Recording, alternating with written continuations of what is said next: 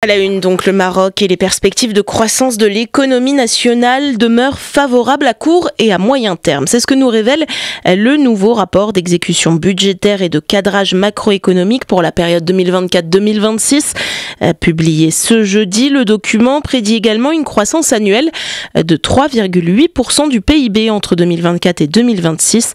Des chiffres à comprendre avant tout comme de la prospective, mais qui, en réalité et au vu du contexte national et international, sont à relativiser.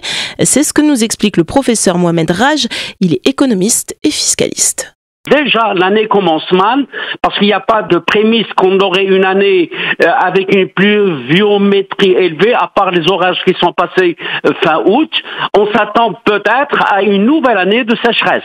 Mais implorons le bon Dieu que la pluie arrive. Mais grosso modo, toutes les perspectives jusqu'à 2026, il serait très difficile d'arriver avec des prévisions plus ou moins précises parce qu'on est encore dans une économie fragile, parce que tout simplement les perturbations économiques sur le plan mondial sont toujours là, les perspectives géopolitiques sont toujours là. Après la guerre de la Russie, Ukraine, vous avez maintenant les putsch et les coups d'État en Afrique. Donc en termes de géopolitique, on est dans un monde instable.